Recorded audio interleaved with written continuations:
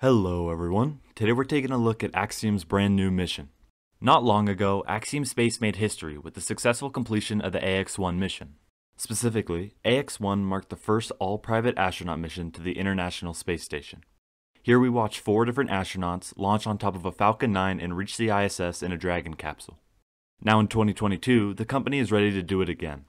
Just yesterday, both NASA and Axiom Space announced they had signed a second private astronaut mission planned for 2023.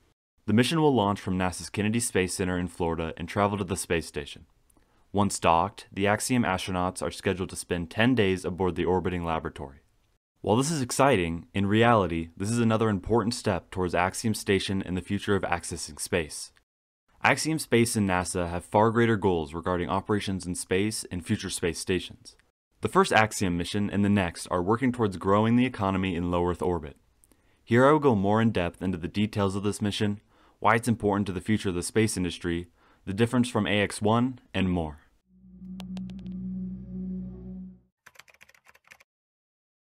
Yesterday, Axiom Space tweeted saying, Axiom Space and NASA have signed a mission order for the second private astronaut mission to the space station to take place in the second quarter of 2023. In addition to this, both companies are releasing more information on the new mission and what to expect. The spaceflight, designated as Axiom Mission 2 or AX2, will launch from NASA's Kennedy Space Center and travel to the ISS. From here, the Axiom astronauts are scheduled to spend 10 days on the space station. Before the launch, NASA and Axiom mission planners will coordinate in-orbit activities for the private astronauts to conduct in coordination with space station crew members and flight controllers on the ground. For the AX-2 mission, Axiom Space will submit four proposed crew members and four backup crew to the station's Multilateral Crew Operations Panel for review. NASA is currently requiring all private astronaut mission providers to select a previously flown NASA astronaut as a spacecraft commander, and Axiom will comply with that requirement for AX-2. Following review and approval from NASA and its international partners, the prime crew members for the mission will be named. In terms of the rocket and spacecraft, the AX-2 crew members will train for their flight with NASA, international partners, and SpaceX, which Axiom is contracted as launch provider for transportation to and from the space station, and who will familiarize the private astronauts with the systems, procedures, and emergency preparedness for the space station and the Dragon spacecraft. Based on current mission planning, team crew training is scheduled to begin this fall. By now, the Dragon spacecraft has launched 35 times and reached the ISS 32 times. The spacecraft is capable of carrying up to 7 passengers to and from Earth orbit and beyond. It is also the only spacecraft currently flying that is capable of returning significant amounts of cargo to Earth, and is the first private spacecraft to take humans to the space station. With each new step forward, we are working together with commercial space companies and growing the economy in low Earth orbit, said Phil McAllister, Director of Commercial Space at NASA headquarters. In addition to expanding access to orbit for more people, we are also hoping these private astronaut missions will help the industry learn and develop the skill to conduct such missions. And NASA is benefiting from gaining additional capability, particularly with returning additional cargo from the space station. In addition, Derek Hassmann, Axiom's Chief of Mission Integration and Operations, highlighted that Axiom Space's AX2 mission builds upon the success of AX1 which demonstrated our team's ability to work collaboratively with partners at NASA and SpaceX to plan and execute a complex human spaceflight mission. Axiom continues to fund and fly private astronaut missions to the International Space Station to build our expertise and attract new customers in preparation for the launch of our space station, Axiom Station. Our new AX2 crew, together with a full mission manifest of science, outreach, and commercial activities, will continue to increase utilization of the International Space Station National Laboratory and demonstrate to the world the benefits of commercial space missions for all humanity. While this new mission announcement is exciting, it all comes back to the greater goal of a commercial space station and the future of accessing space. Back in early 2020, NASA selected Axiom Space of Houston to provide at least one habitable commercial module to be attached to the International Space Station as the agency continues to open the station for commercial use. From here, Axiom Space hopes to continue adding segments and eventually detach from the station when the ISS is set to be retired. At that point, Axiom Space would have a fully commercial space station orbiting the Earth. Taking a closer look at this future goal, right now the construction of the world's first commercial space station is underway.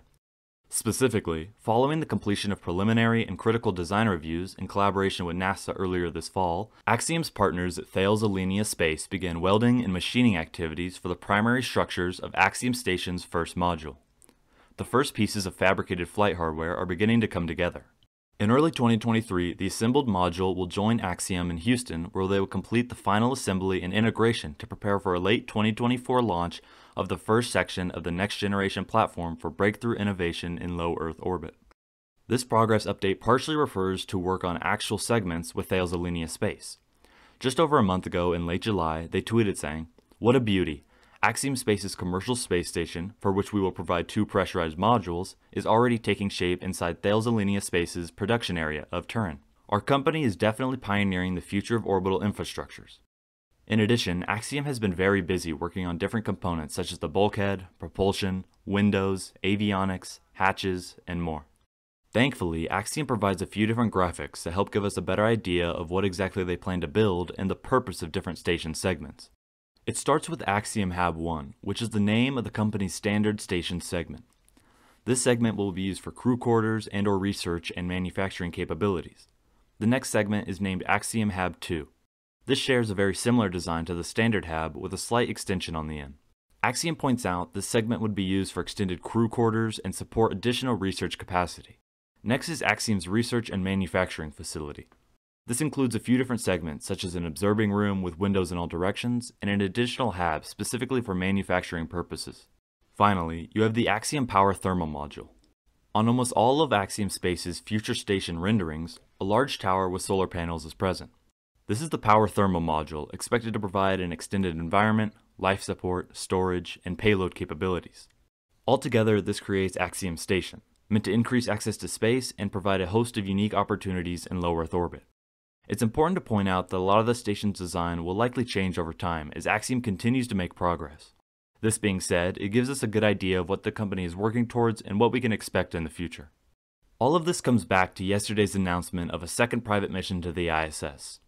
For more than 21 years, NASA has supported a continuous U.S. human presence in low Earth orbit.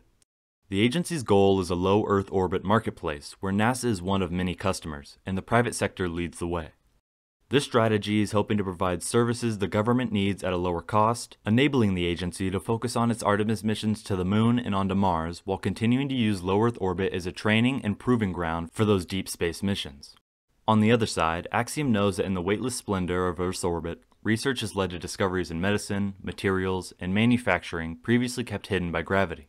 Humans have learned how to live and work in space as a precursor to a future out amidst the solar system astronauts have returned with a transpersonal revelation on the nature of our interdependence with our home and with each other. Axiom finishes by highlighting, we've only scratched the surface of that radical potential. Axiom Space and NASA are once again working on another private mission to the International Space Station. Just yesterday, the agency and company announced AX2, another step in the right direction for accessing and working in space. We will have to wait and see how it progresses and the impact it has on the space industry. Thank you very much for watching.